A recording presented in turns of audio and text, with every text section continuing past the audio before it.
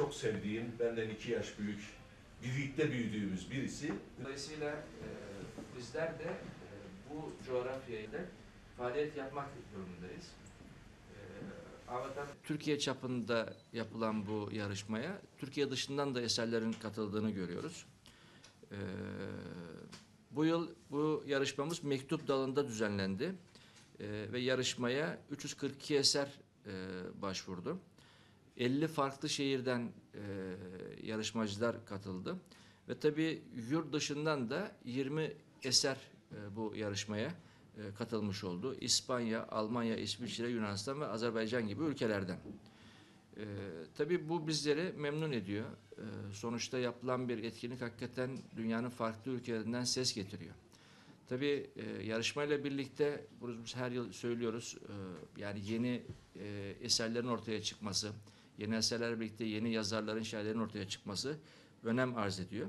Bu da e, Bursa olarak, Osman Gazi olarak, e, Bursa'daki düşünce adamları olarak e, bizlerin bir başarısıdır diye bunu biz e, böyle kabul ediyoruz. Birinciye 10 bin Türk lirası, ikinciye 7500 Türk lirası, üçüncüye 5000, mansiyon kazananlara da 2500 Türk lirası para ödülü verilecek.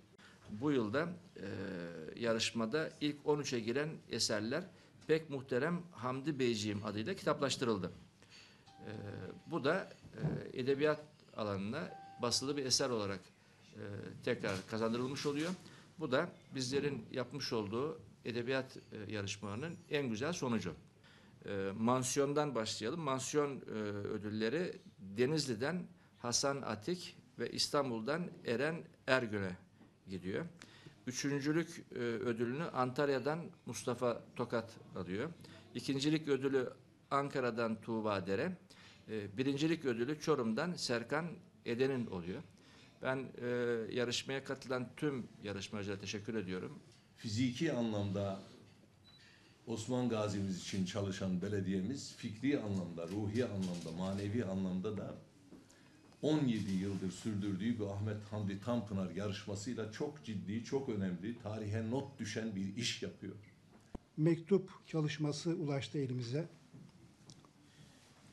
Bana sorarsanız 1500 şiir çalışması gelmektense 340 mektup çalışmasıyla karşılaşmak beni daha memnun etti. Hem edebi tadı olan mektuplardı hem yerli ve milli tadı